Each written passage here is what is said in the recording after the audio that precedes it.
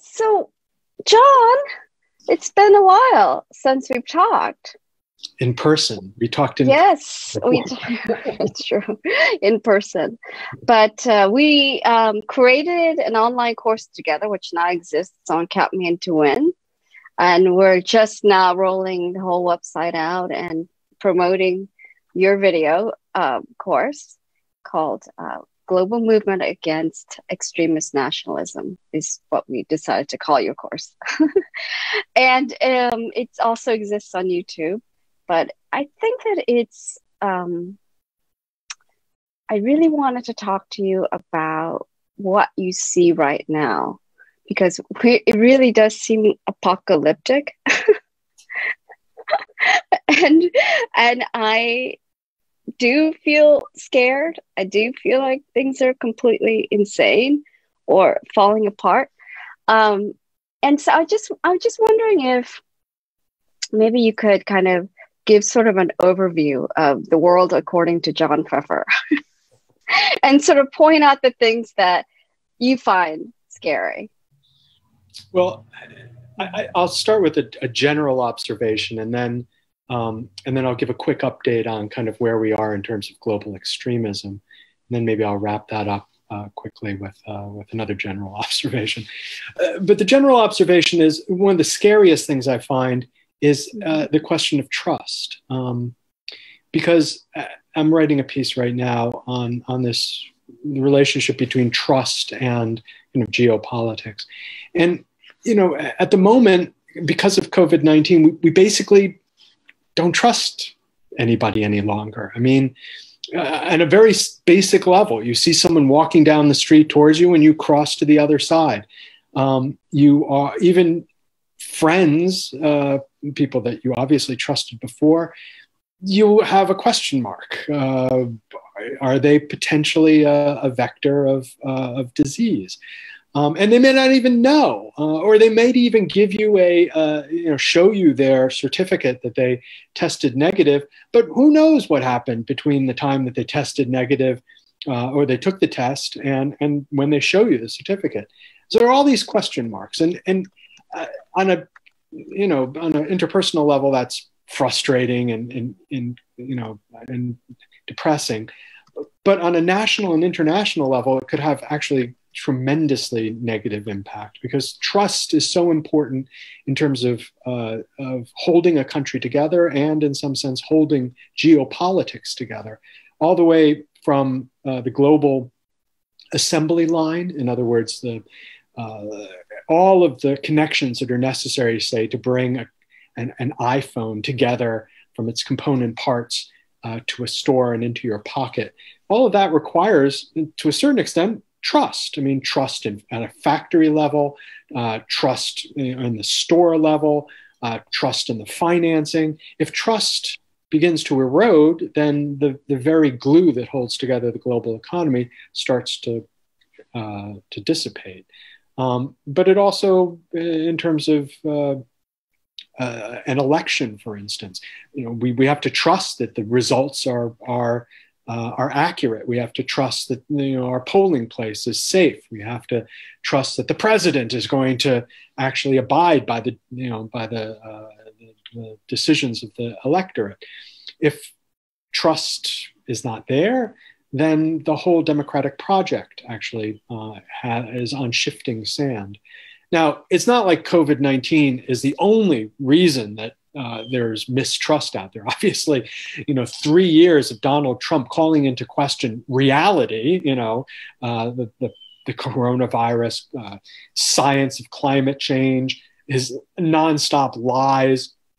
Of course, all of that uh, erodes trust as well. And there are other reasons for the erosion of trust, but but you could say that COVID nineteen is is uh, represents a potential tipping point, um, not only in this country but, but globally. Okay, so that's a general um, a general reflection on something that is truly scary and insane about the, the COVID nineteen moment.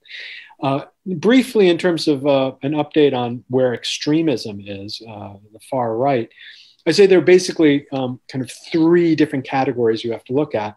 One are the, the, the far right, um, the extremists who are in power, people like Donald Trump in the United States, uh, Bolsonaro in Brazil, uh, Orban in Hungary. And then you have a you have the the far right parties that are not in power, uh, that are hoped to be in power, but National Assembly in France, for instance, or the Swedish Democrats, a number of far right parties.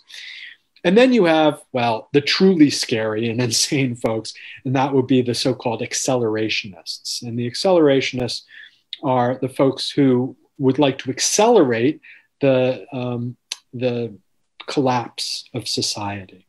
Um, mm. These are people like the Boogaloo Boys that people might have heard of. It also includes, um, you know, neo Nazis, white supremacists, people who want to basically instigate a race riot in this country, um, and have wanted to do so for several years. But the COVID nineteen uh, for them represents an enormous opportunity because um, you know they, there's a possibility that society might just become unhinged. You know, in part because of the lack of trust, but for a number of other reasons. Wait, let me stop you there for a second. I mean, but what is the end goal for them, the accelerators? I mean, and is that the same end goal or do they have different end goals? They have different end goals. I mean, uh, mm-hmm. for instance, you know, white supremacists would like, you know, for instance, to create a white homeland, um, for instance, in the Pacific Northwest.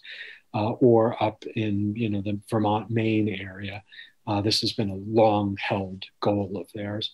Um, others are kind of the survivalist um, variety, and they uh, don't really want any kind of social interaction. They just want to kind of hoard their stuff and have their guns and have a compound of their family and maybe some friends.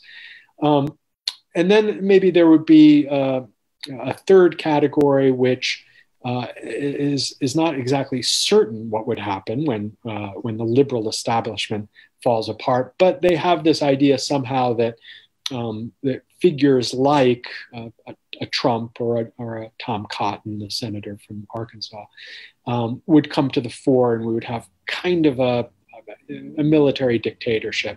Um, that again would you know represent the interests of white people, gun owners, and so forth. So I think those are kind of three somewhat separate uh, end goals for the accelerations. Mm, okay, so those are uh, those are the accelerators, and then the other categories. Uh, so the the first category would be those uh, the far right folks who are in power already, uh, like Trump or Bolsonaro, or Orban, and and during the COVID nineteen crisis, they've they've kind of divided into two overlapping categories. There's the denialists and then the power grabbers. The denialists, of course, were arguing early on that the COVID 19 was not a, a threat. Um, it was like a cold, it was a flu, but not really a serious pandemic. Um, and that anybody who was making that case, scientists, policy people, were doing so only for political reasons, uh, to take down uh, the, the, economy, for instance, to undermine the authority of Donald Trump, um, to stop logging in the Amazon, whatever. I mean, there are a variety of different um, reasons why they were denying uh, the, the, existence or the, or the lethality of, of COVID 19. Um, but I think that has gradually shifted into the other category, which is the power grabbers, who very uh, early on, people like Viktor Orban or Benjamin Netanyahu uh, did not deny um, the existence of COVID 19, but rather saw it as an opportunity to advance their agenda. Um, Orban, for instance, in Hungary, has long said that uh, immigrants are the greatest threat to kind of white Christian Hungary. And now he has this additional argument he can make that immigrants are dangerous not only because of who they are, but what they carry, namely potentially uh, a virus. Um, so his his approach of closing down borders um, and mm-hmm. erecting walls becomes, in fact, not only the policy for Hungary, or an extension of what had previously been the policy for Hungary, but it becomes the de facto policy for well about 100 mm-hmm. Countries around the world. Um, but uh, but for for Orban, it's specifically uh, an opportunity for him to push through a, a, kind of what he called an enabling act, uh, a state of emergency, basically, in Hungary that allowed him to concentrate power in his hands. Um, so mm-hmm. you see a number of power grabs like that by um, what yeah. would have been dubbed coronavirus authoritarians around the world. coronavirus authoritarians.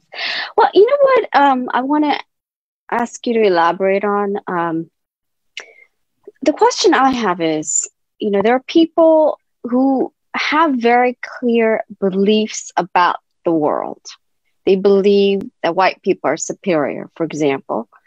And then there are people who just they see a way to just gain personal power, mm. not even group power, but just personal power, mm. right? Just sheer kind of entrepreneurial, opportunistic people.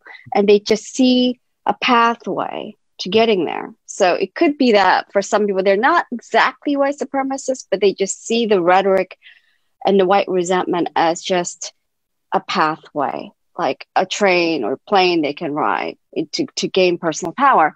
And so, and I, I've always had these questions about people like Donald Trump and others like, what do they actually believe other than their desire for, for power?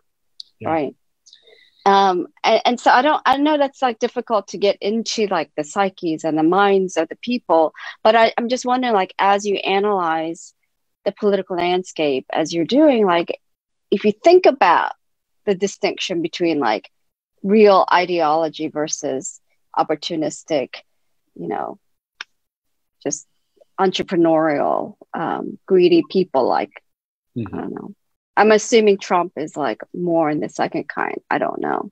Yeah. Yeah. Well, you know, an invitation to enter the mind of Donald Trump or Bolsonaro is truly an invitation to visit a very an insane place. but, uh, uh-huh. But I think your distinction is an important one between an ideologue and an opportunist. And, and there are, of course, some people who are both ideologues and opportunists. Very um, true. So, mm-hmm. for instance, Viktor Orban, I would say, is both an ideologue and an opportunist in the sense that, you know, Orban in Hungary had started out, as a liberal um, back in the late 1980s, and not just a, a, casual liberal, but the leader of the liberals in the country. Um, but he realized that liberalism in Hungary was a largely discredited philosophy, a political ideology. And if he was going to get anywhere politically, he'd have to abandon that particular philosophy. So, uh, so he became he became quite clearly an opportunist. Now, you could say he was an opportunist from the beginning; that his liberal uh, ideology at the beginning was simply, you know, what he perceived to be the way to power at that time. And as soon as it no longer represented a ladder to success, he threw that ladder away and found a different ladder.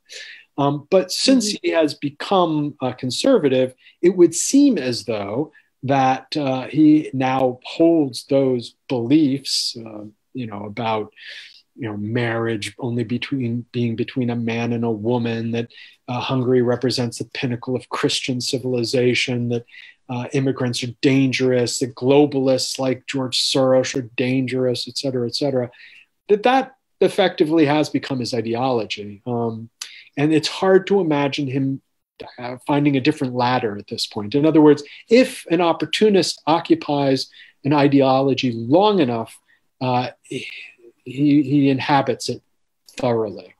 Mm-hmm. There are others, I think, who are a little bit um, uh, more difficult to pin down. I mean, someone like Duterte in, in, the Philippines, for instance. I mean, Duterte started out kind of being uh, mm, associated with the left, but even with the Communist Party in, in the Philippines. Um, since he's come to power, it's been very difficult to figure out what his ideology is, other than to stay in power and to kill a lot of people, like 27,000 extrajudicial murders uh, in three years. Um, and so there, I think it's it's clearer that uh, Duterte is an is an opportunist rather than an ideologue. Um, and I think you can find, you know, say purer ideologues like, um, I don't know, uh, uh, you know, I, I would say, hmm, in the pure ideologue, maybe Shinzo Abe would be would be a, he's been quite consistent throughout his entire career as a Japanese politician in uh, in embodying Japanese far right ideals. Um, there are op- there are obviously some opportunist streaks to him, but but basically mm-hmm. he's an ideologue. Um, and I would say probably Netanyahu as well in Israel. I mean, he's been pretty consistent in his in his views all along. but uh, but if you look at someone like Erdogan in Turkey, he's been all over the place uh, in his right. philosophy over the last 15, 20 years. I mean, what they all have in common, though, is that they're fundamentally anti-democratic. Mm-hmm. So against people. Well, they're they're anti-liberal. Um, I mean, they would say that they're they're actually pro-democratic. I mean, Orban would say he's pro-democratic, but uh, but democracy for them means um, uh, a particular kind of populism in which they identify the people uh, as with a capital P as the people behind them, and everybody else who's opposed to them are really not not really people, um, not part of the people, um, and that uh, they embrace democratic procedures. I mean, Erdogan, Orban, uh, Duterte, all of you know. Uh, come to power democratically. They all uh, uh, exist in a multi-party system. What they don't agree with is liberalism, and, and uh, Orban has been really clear about that. Orban says, "I am an illiberal politician." In other words, he doesn't believe in um, in some of the checks and balances that, uh, for instance, you would find in constitutional democracies. Um, he's uncomfortable with uh, when he says li- uh, illiberal in this sense. He also means in, in, an economic sense. He's, he's very much opposed to, um, to, as the Europeans call it, liberal uh, economics, which we would call either neoliberalism or um, laissez-faire economics. Um, and, and therefore that, that informs their critique of globalization because globalization becomes a vehicle for liberal economics and that's why they're against it. So th- they make a very clear distinction in, in their mind, at least, between liberalism and democracy. Mm-hmm. And can you just kind of break down what you mean by liberalism there? Mm-hmm. Mm-hmm. Uh, what I mean or what they mean? Yeah, what what you mean? What you mean? So, uh, so liberalism, uh, let's say in the American context, because of course liberalism means different things here in the United States and, and in Europe and in other countries. But here in this country, liberalism generally speaking, at this point, is uh, is is basically three concepts. One is uh, liberal uh, politics, um, and that's a kind of conception of democracy, both procedurally, um, but also in terms of the structure of government. Um, checks and balances, uh, the, the, role of uh, the courts in, uh, in, in representing a, a, check on power. So the importance of of uh, preventing absolutism from returning to this country as, as it was when we were a colony of Britain. Um, then there's liberal economics, uh, and liberal economics uh, in, in the American context, it, it really is um, uh, a, a, marriage of um, the market and democracy. Um, uh, that the two go hand in hand in, in, in an important way in serving as the backbone of society.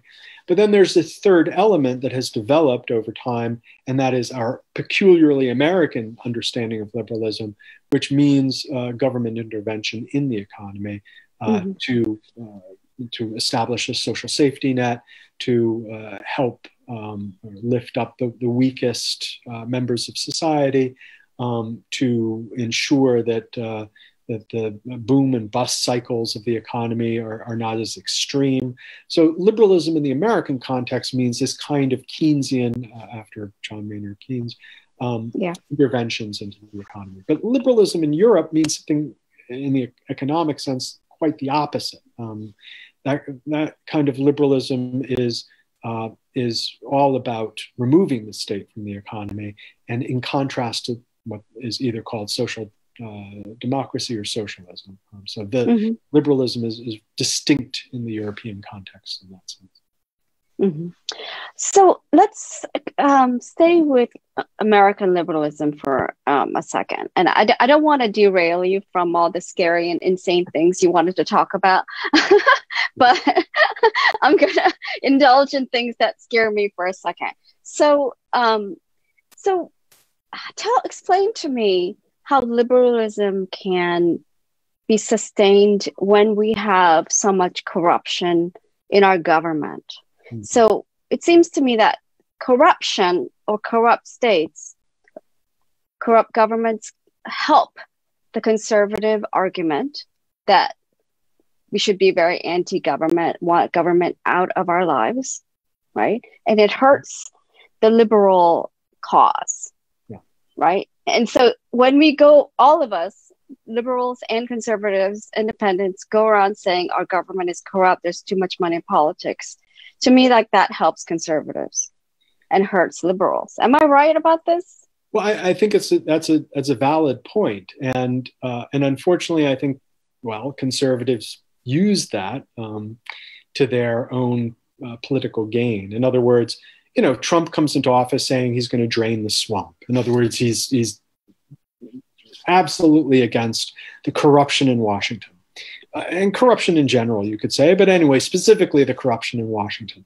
Then he gets to Washington, and uh, and it's nothing but corruption coming from him. I mean, just Secretary of, of uh, Labor, you know, Secretary of, of everybody everybody he brings in is corrupt. All of his actions are corrupt in terms of you know the emoluments clause of the Constitution, his his use of his his office, in other words, to um, to uh, to make money for himself, his organization, his family, his cronies. It's it's just nothing but corruption. And then the conservatives can turn around and say, "Well, you see, we we, we were right. It is corrupt, and we take government out of the economy." Um, and you know, it's like going in and you know uh, there's a nice picnic going out in front of you and you go and you urinate on it. And then you say "Ha! told you the food was lousy. And you're like wait but it was fine before you just did that terrible thing. So, uh, so yeah corruption is, uh, is, is often used by conservatives for their own um, narrow purposes. Uh, liberalism in, at least in theory is supposed to be um, set against corruption. In other words you set up these checks and balances in government to prevent the concentration mm-hmm. of power, which encourages corruption. You you establish watchdog uh, institutions within government to ensure that that no one can get away with anything. And then because you can't you really even trust the government itself can police itself, you establish watchdog institutions or you strengthen watch, watchdog institutions outside of government, the media, um, legal system. Uh, uh, any any number of monitors that are in place that are constantly checking to see if, if corruption is, is happening. Um, so, uh, so that that ideally is, is what liberalism does. So even if the government is is intervening in the economy, there are checks and balances both within government and outside of government to ensure that that uh, that nexus, if you will, uh, between government and the economy is not corrupt. Now, again, that's theory. If you want to look at practice, well, of course, for the last uh, hundred years more, we've had a military industrial complex, which is what is it? It's the government intervening in the economy. Uh, it's the only so called socialist uh, program that the American government really has had, has been consistently supporting for, for decades. Mm-hmm. Um, and the number one, it it works. I mean, if you if uh, at at, uh, at, one level, I mean, employs a lot of people. Uh, it produces a lot of weapons. Uh, it's very successful in its exports. Uh, it has a very uh, strong research and development arm in DARPA. I mean, the military-industrial complex at one level is you know proof that government can intervene in the economy very successfully. It just happens to be producing lousy things, but okay, uh, that's aside, uh, aside beside the point. But on the other side, you can say, well, but it's extraordinarily corrupt, and you know we have plenty of stories of you know the thousand dollar toilet seats or the ten thousand dollar hammers, or you mm-hmm. know the, the, corruption that's that is so embedded in this process.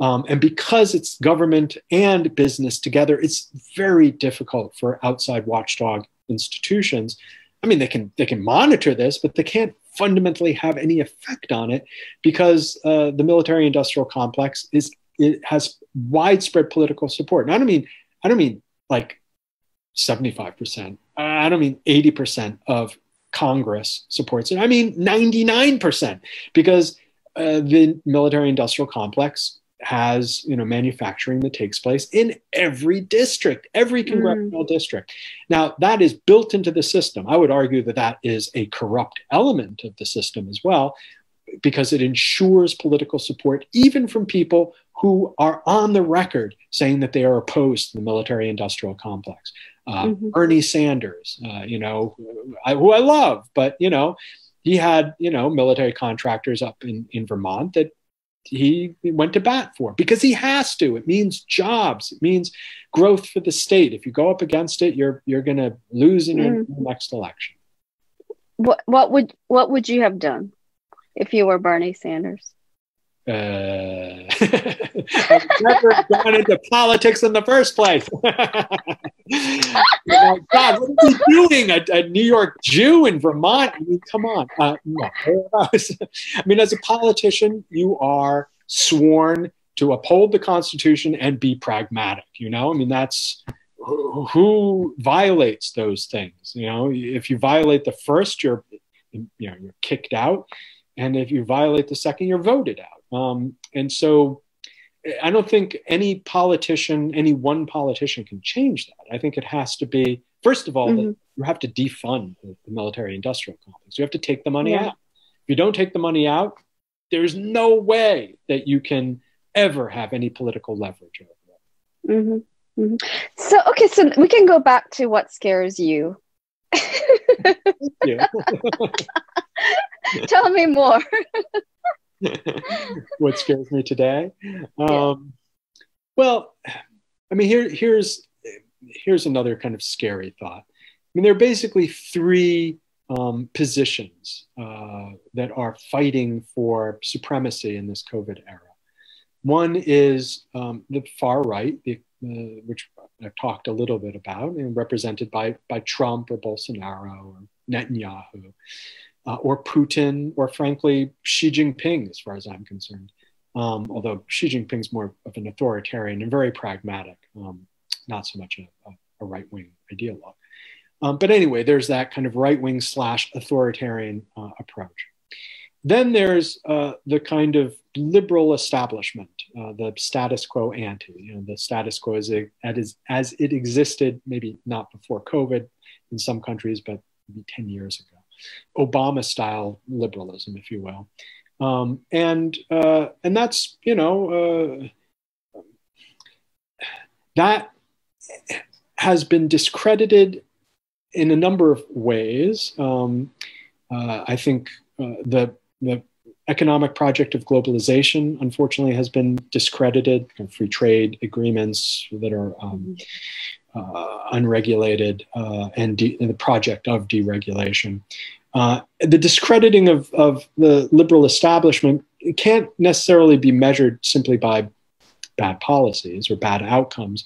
It can be measured, I think, most obviously by all the votes that go to people like Donald Trump. Um, that represents kind of a, a real disenchantment uh, among the populace to the liberal establishment um, or the establishment in general. I mean, if you look at Brazil, it wasn't exactly a liberal establishment. It was, uh, you know, under Lula, it was a radical establishment. And there was considerable disenchantment with that as well, in part because of corruption and, and rather widespread corruption. Um, so those are those are two kind of battling, and, and that's of course going to be what we see in the elections here in, in November between Biden, who's very much a representative of Obama-style liberalism, and Donald Trump.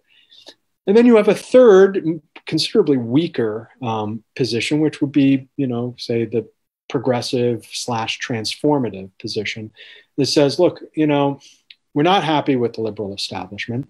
Um, we believe that, that government can play an important role in the economy. In fact, it has to. We believe in internationalism and in joining hands across borders to solve global problems.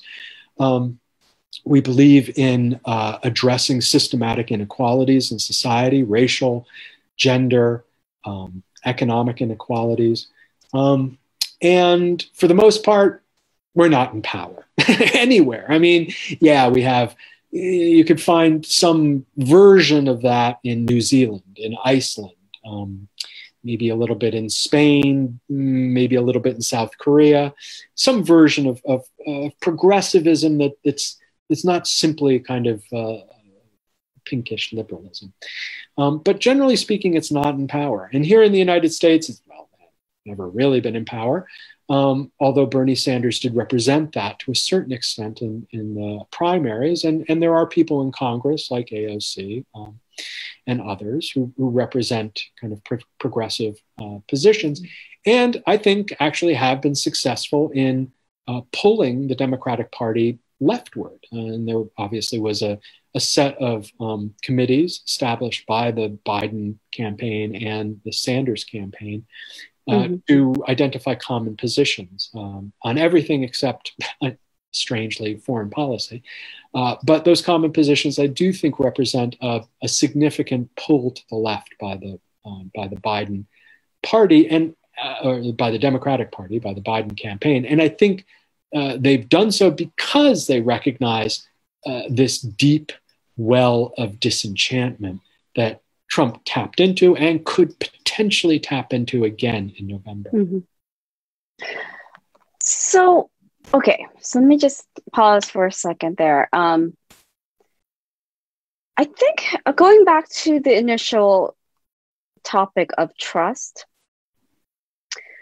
I think the situation now is that um, there are a lot of progressives who are progressive in the sense that they still want um, something that's more uh, socialist or Marxist, but they don't trust our institutions, our current institutions.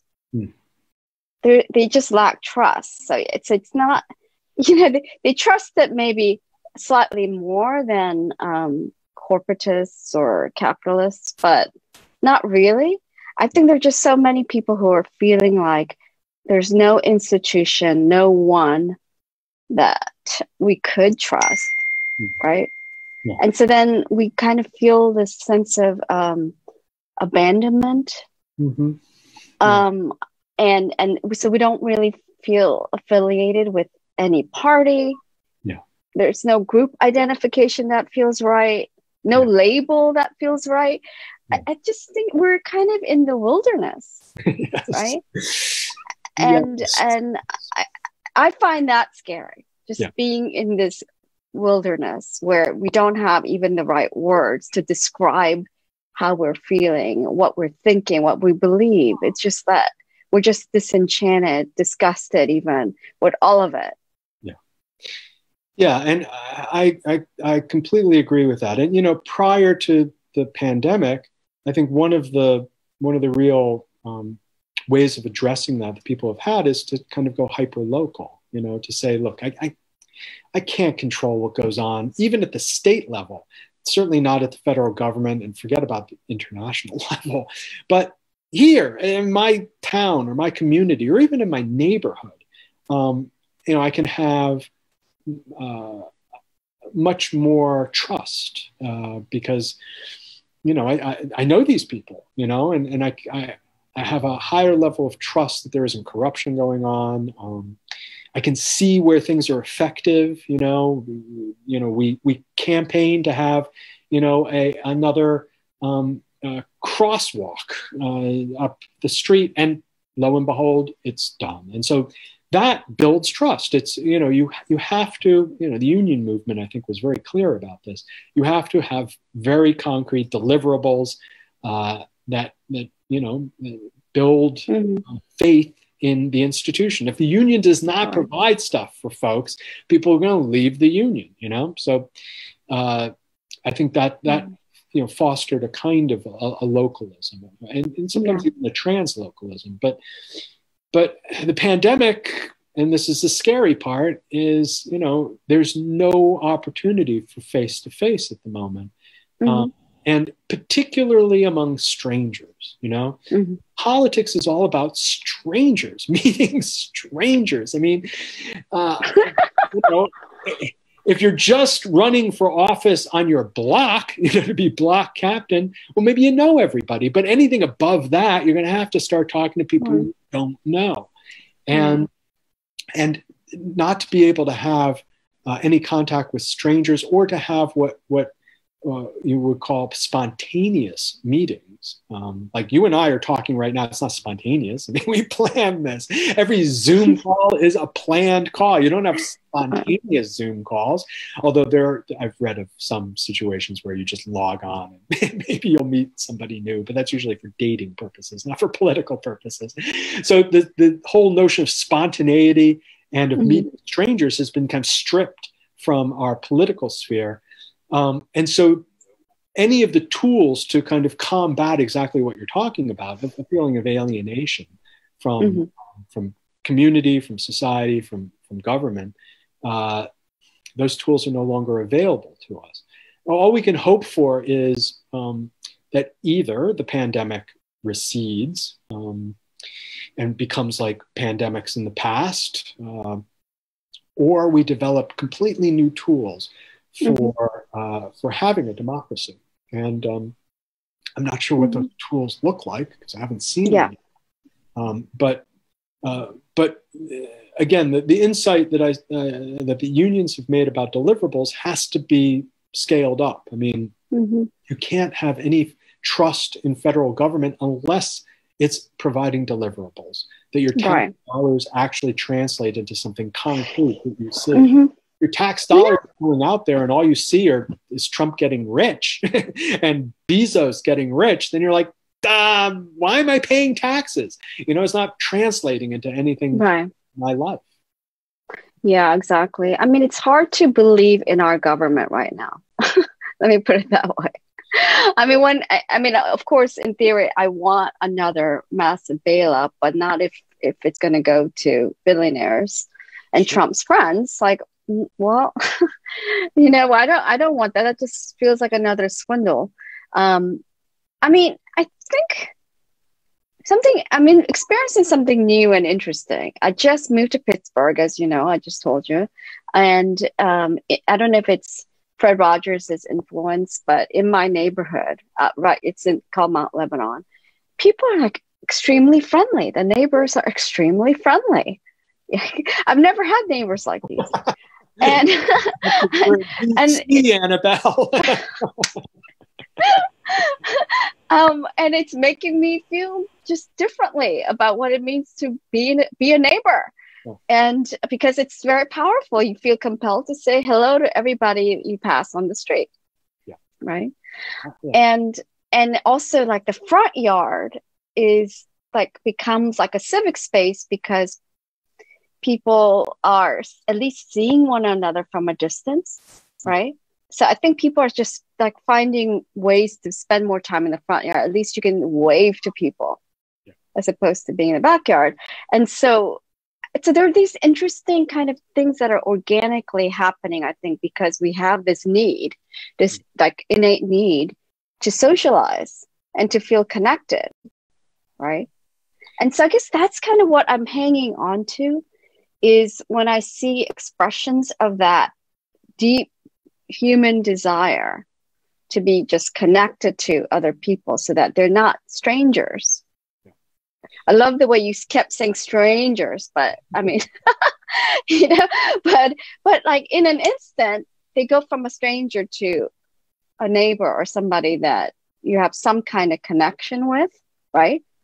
Like I was outside and, and there was a guy who was just like looking very confused and lost. And he looked at me and said, um, I'm looking for a comet. Like he was looking up at the sky. I guess there was supposed to be a comet.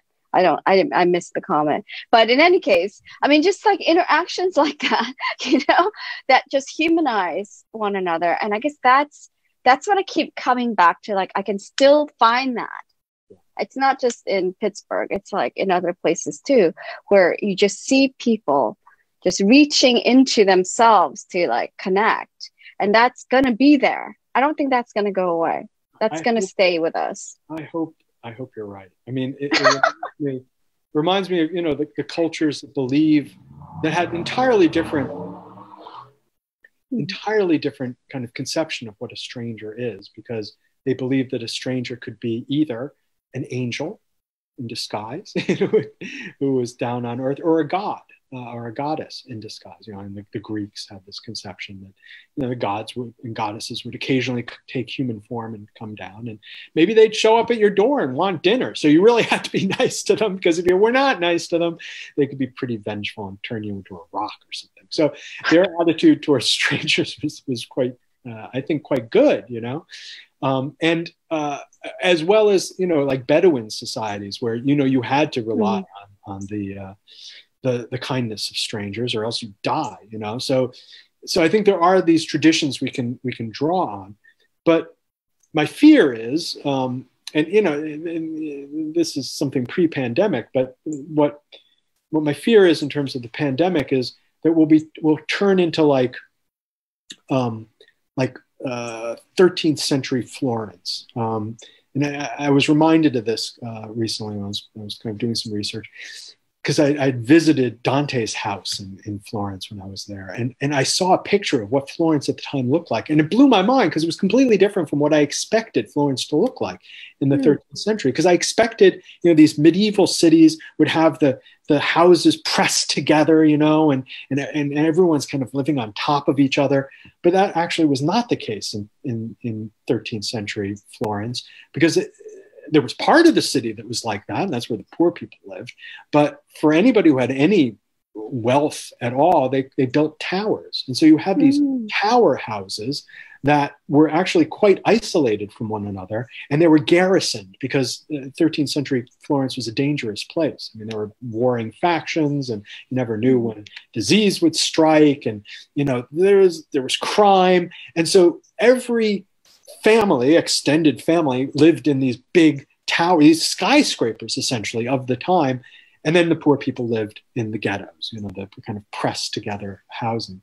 And I'm afraid that, you know, that the, the wealth inequality that was already building prior to the pandemic, but add on to that, you know, the, the erosion of trust um, and fear of strangers that COVID is, is uh, accelerating leads to this kind of um, gated community on the one hand and the teeming masses. In other words, the folks who can um, uh, separate themselves out from, that can essentially quarantine themselves from society, and then the essential workers, the essential people who cannot afford to, to separate themselves uh, and, and actually can't abide even by the rules that the government establishes. I mean, you know, you see the, the rules for social distancing, for hand washing, um, for mask wearing. Um, that, that, doesn't make any sense whatsoever in much of the, of the global south. I mean, people live on top of each other. They can't, they have, there's no social distance. They, can, they can't stop selling wares at the market. They can't wear masks. They can't wash their hands because there's no source of, of water often. So, you know, that there's a really strong divide that COVID is is accentuating between you know the quarantinable people and the mm. essential so-called essential workers. Oh wow. Interesting. Um let's see. I just want to stay on this notion of estrangement because as we know you know trump likes to divide people um, and he um, likes to create conflict among people another way of thinking about that is he's he is actively trying to estrange us from one another, right? So that we feel alone and scared. And we want to cling to something.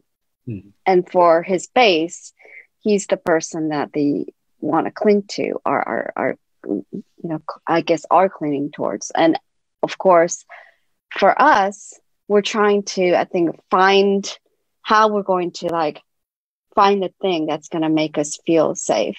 Mm-hmm. Mm-hmm. Because well, we're not we're not ones who like the strongman types, right? um, but we have to feel safe, and I don't know how we're going to feel safe. I mean, how do you, how do we get there, John? How do we get to safety? Um, yeah. Well, I mean, I think you're right that Trump is interested in dividing the country, but he's not necessarily interested in creating an entirely atomized population. In other words, he wants you and me and in folks who generally dislike him to feel atomized and powerless. But he is, in some sense, very interested in being at the head of a mass movement, a mass movement of you know, people, of his supporters. Uh, in other words, people who lose themselves and their individuality in, into a larger movement in which they feel safe. So, in fact, mm-hmm. they feel safe. They feel safer until, of course, in, uh, despite their denialism of, of COVID 19, they contract the disease and become sick or die, which has happened in some, some cases. But aside from that, they feel safe. Um, safe in numbers, safe behind Trump. Um, so for the rest of us, well, I think the first thing is we really we need to restore government, um, the U.S. government, to you know to to some measure of normalcy. Uh, mm-hmm. And by normalcy, I mean just you know getting the job done. You know, just like you know one of the reasons why we're all we all feel so insecure right now compared to say South Korea or Europe is because we don't have a, a testing, tracing, and, and strict quarantine uh, system in place. All those other countries in Europe and most of East Asia are able to open up again their economies because they have those systems in place. People feel safe going out into society at large. Um, they may still maintain some distance, they still may wear masks, but generally speaking, uh, and there has been some resurgence of, of cases, but nothing like what's happened here in the United States. In other words, those are dealing with, say, three digit um, surges, and we're dealing with a five digit surge. Um, so, number one, we have to have kind of a normal government that we feel is, uh, at the very least, providing the kind of response to this pandemic that we see in, in Europe and Asia. Uh, after that, um, we want to have some sense that, as it happened in 2009, after we uh, elected Obama, that mm-hmm. um, that there is some kind of uh, financial stability, um, that we are not going off a cliff, um, and uh, and that we're not going off a mm-hmm. cliff. Um, uh, simply because we're paying off banks, you know, to, to, give us a false sense of security, which in some sense is what happened in 2009. So the, we really have to learn from uh, what happened in 2009 and and provide a real sense of, of economic security, um, a, a, real safety net for people. And obviously, the thing on most people's minds at the moment is, is healthcare. I mean, am I going to get sick? If I get sick, am I going to you know be able to to not go bankrupt by going to the hospital? I mean, a lot of people are mm-hmm. staying away from the hospital because they're worried they can't pay for it. So that has to be bedrock, you know, a bedrock um, uh, provision of, of healthcare security. Okay, so those are like three things, three absolute building blocks for getting to safety a normal political functioning of government, some degree of economic stability, and a social safety net that provides at least the basic minimum uh, for, mm-hmm. for people in this country. And do you think that?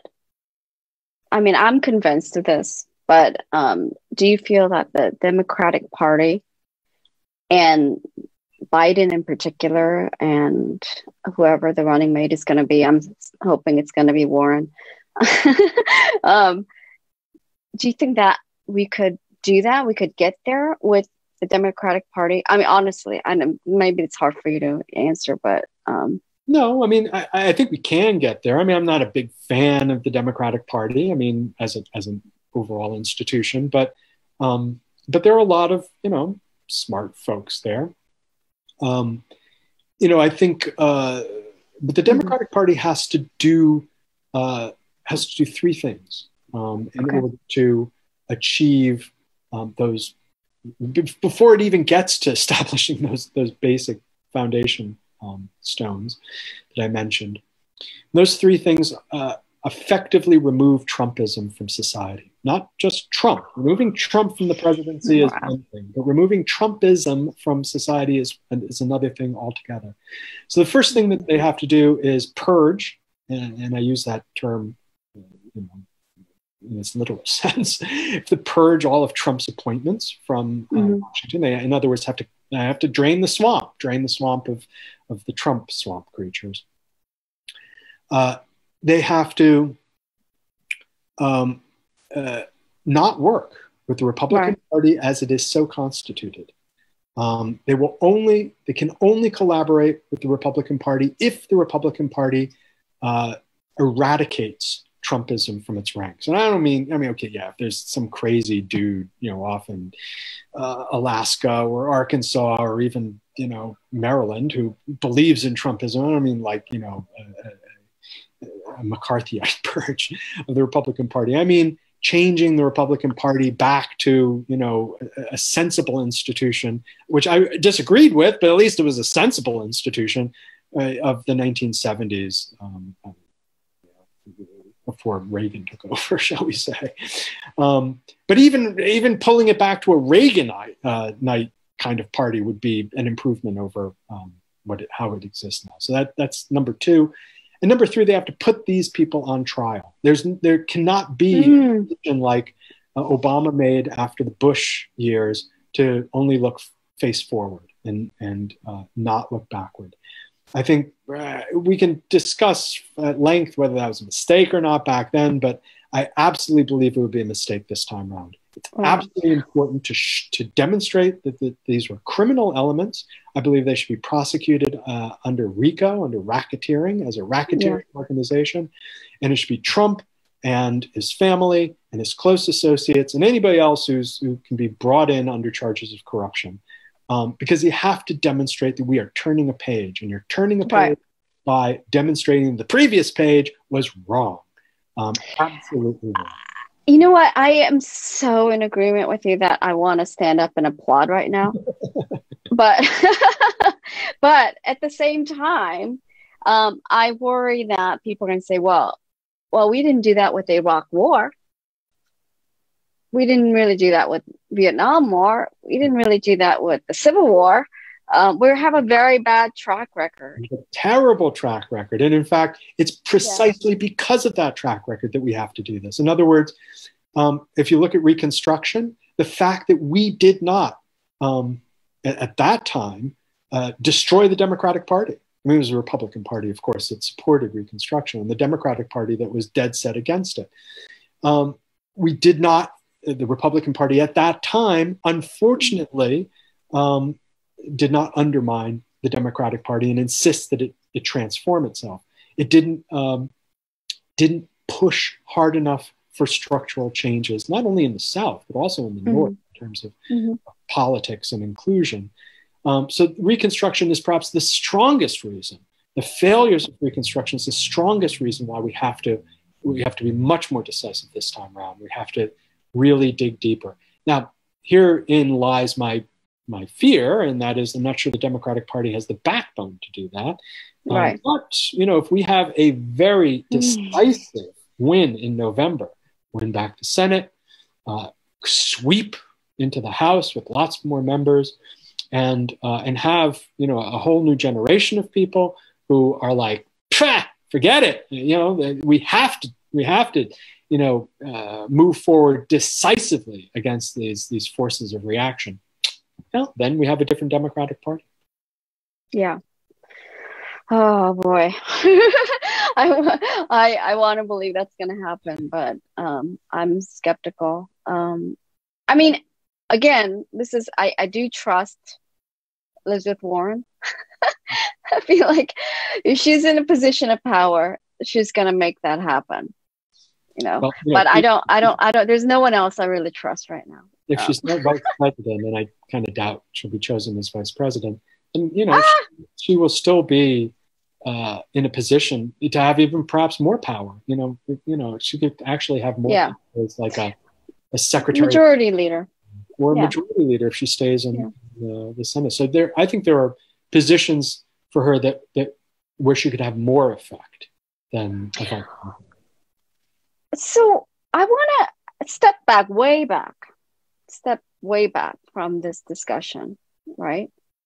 Like, it, imagine you're writing the history of this period 20 years from now yeah. for cute um, for your one of your great books or plays so you're writing the history of this period right now yeah right. okay so from like historical point of view what's really gone wrong? Like, how in the world did we get here? You know, I mean, is is the Enlightenment dead? Was it just completely wrong? I mean, are is it TV? Like, what what went wrong? Yeah. Do you have yeah. any thoughts? Well, you know, I just finished this piece looking at um, uh, like what I call the future iconoclasts. In other words, the people who will be tearing down today's statues tomorrow. We have plenty of people who are tearing down yesterday's statues today, and that's an, you know a, a strong movement.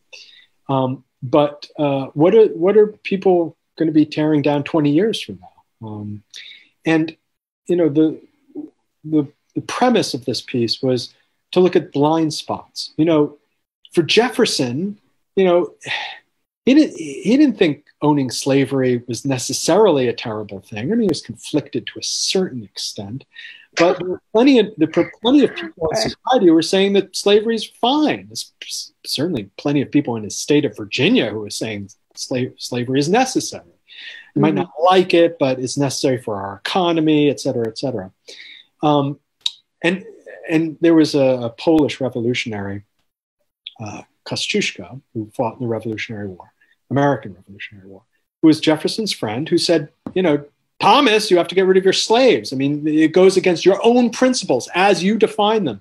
And Jefferson was like, you know, he kind of hemmed and hawed, and he never did it. And Kosciuszko even left his own legacy, the money he earned as a, as a participant in the Revolutionary War, to go to the education of freed slaves. And he, he named Jefferson as the uh, executor of his will. And Jefferson never did it. He never even did. He never even put Kosciuszko's money towards oh, it. Oh God! Really? Jefferson ever did. Um, so that was a blind spot. It was a blind spot for many founding fathers. You know. Uh, yeah. You know. So and you know the what what precipitated my writing of this article was watching Hamilton, you know, on Disney. It was yeah. available, and you know, Hamilton. Uh, the play doesn't really address uh, slavery very much. There are a couple of asides, but in order to kind of, you know, raise up the, the founding fathers and to kind of continue to venerate them, you have to turn a blind eye to many of their uh, their their worst blind spots. So, what are our blind spots today? In other words, what are the what are the counterparts mm. to, to Jefferson's slave owning? And I would say perhaps you know the the, the greatest one is uh, you know our um, our acknowledgement of climate change, we say, you know, almost everybody says, scientists, you know, of course, there are some still some denialists, but for the most part, we all acknowledge uh, that we're kind of screwed when it comes to the environment. And yet we fundamentally haven't changed our economic system to reflect that. And we have only changed things around the margins, really, in our own daily life, because um, we still have lots of cars and we still kind of um, use air conditioning and eat meat and whatever. You know, I mean, uh, aggregate, we haven't changed our lifestyle at all. It's a major blind spot. You can imagine people 20 years from now tearing down statues to everybody and you know saying these people talked about climate change and they didn't do a thing about it.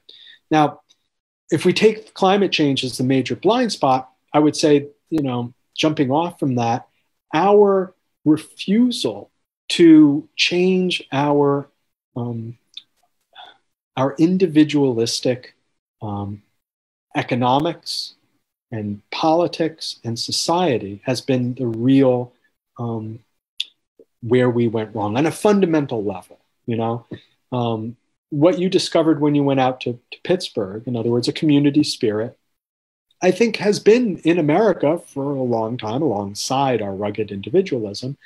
Um, but uh, rugged individualism, unfortunately, has been, I think, the stronger component of our economics and our politics.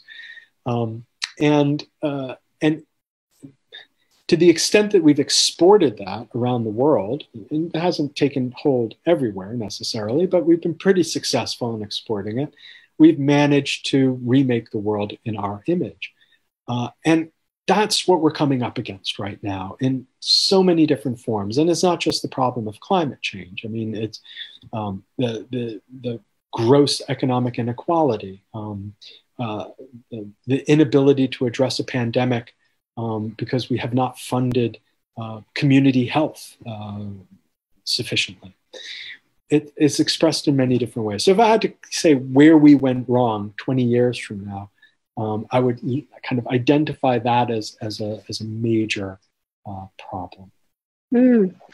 Yeah. I mean, but is it individualism or the interpretation of individualism that led to kind of glorifying selfishness? Because I think you can have the romance of individualism without glorifying selfishness. Yeah, I know. I think you're right. And yeah. You know, yeah. obviously, Ayn Rand has been very influential in this society, and, and her book, The Virtues of Selfishness, says it all. I mean, uh, and, and I wish I could say that that was um, uh, unusual and that she was a fringe figure, figure, and she was a fringe figure. But if you look at the the the uh, the, the foundational texts of mm-hmm. our economics, it assumes selfishness. It assumes the rational action of individuals um, who are acting out of selfishness. Um, and, and we've constructed our economy accordingly. Um, mm-hmm. So, yes, there, I think, you know, uh, the, the individualism of, say, I'm watching Free Solo of, of, someone who goes up, you know, a rock face without ropes. You know, I think it's crazy, but I mean, that's that's obviously one example of individualism. That's that's the insane part of this conversation. um, but it doesn't it doesn't like harm anybody other than that individual. But the the the sense when when you take rugged individualism and you inject it into a into an economic system and you, you make it the principle around which everything revolves, the harm then goes far beyond any given individual. Mm-hmm. Yeah. Well, thank you. Actually, that's very helpful. I find that extremely helpful.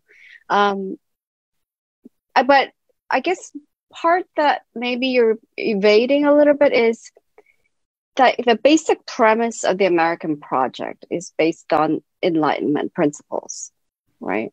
That we are capable of rationality, that all of us are capable of rationality. Well, that there is such thing as reason you know that for that reason we should all have rights as individuals. Like was that just completely wrong? Did it, is that a blind spot?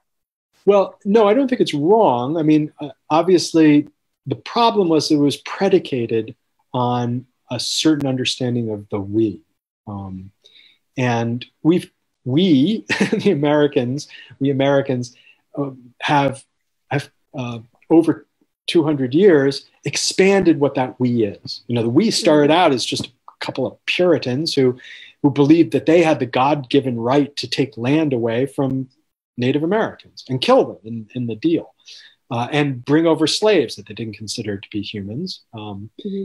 And so, all what they, the, the Enlightenment project of rationality uh, really was uh, circumscribed. It really applied to only a, a handful of people at the beginning.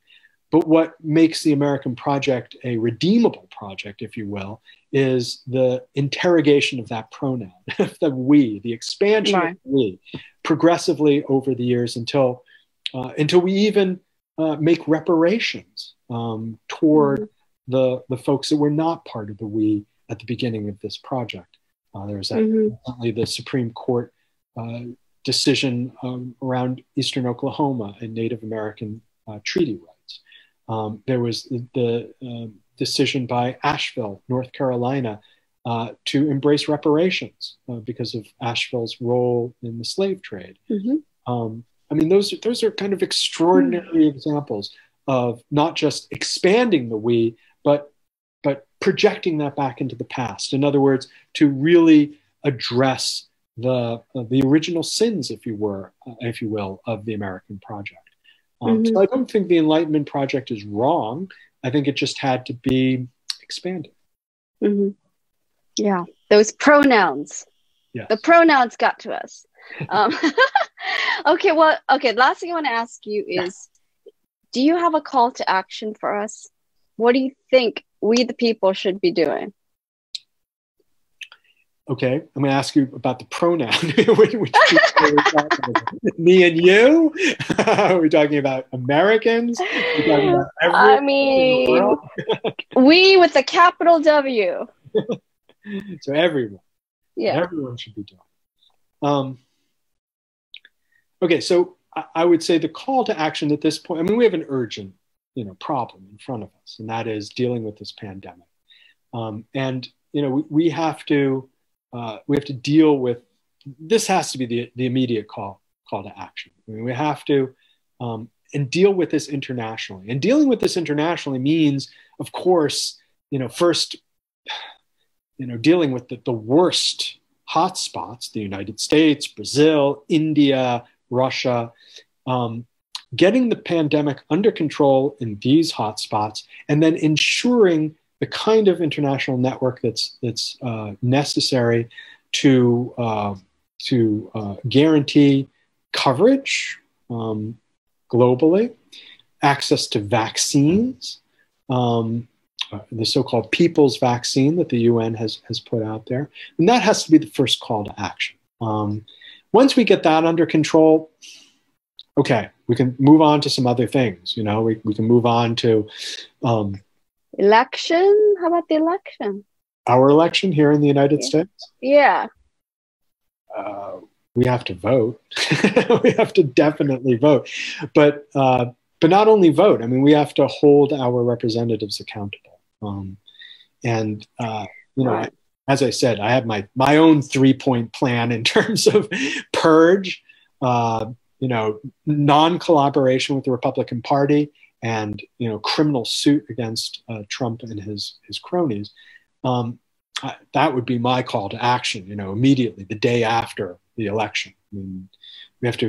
Well, mm-hmm. I just want to ask you what you think of this. Yeah. Um, I mean, I think volunteering. I mean, I really believe in volunteering. I, I volunteer every election cycle. Um, I think volunteering right now, finding ways to volunteer, especially for the election, but for any number of things that are urgently needed, could really help restore that sense of connection with people. Mm-hmm. I do. I, I mean, because right now we can start to get more alone, um, more alienated, more disconnected. And I think volunteering would really go a long way in help, helping people to feel like, no, actually, we are part of a community. Yeah.